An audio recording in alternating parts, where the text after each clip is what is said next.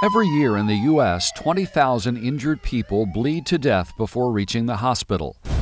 Thousands more bleed out on battlefields around the world.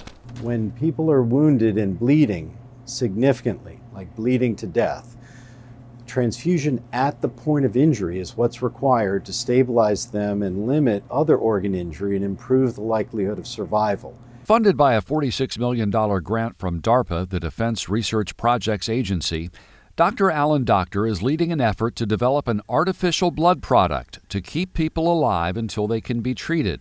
Led by the University of Maryland Schools of Medicine and Pharmacy, a consortium of scientists around the country will be involved in the project, which has the potential to save countless lives. We're calling it a whole blood analog, so it's not intended to replace blood, but to push transfusion service out where blood can't go. So it's not designed to replace blood where blood is available, but to make blood therapy or transfusion therapy available where blood is not an option. Donated human blood is only viable for about 40 days and requires cold storage.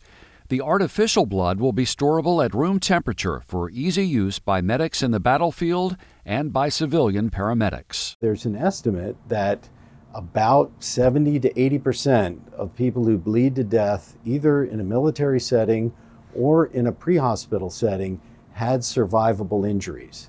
So, of the people that are dying from hemorrhage, they have recoverable injuries if only we could get them to the place where a surgeon could look after them and emergency physicians can stabilize them. Artificial red blood cells, platelets, and plasma have already been developed.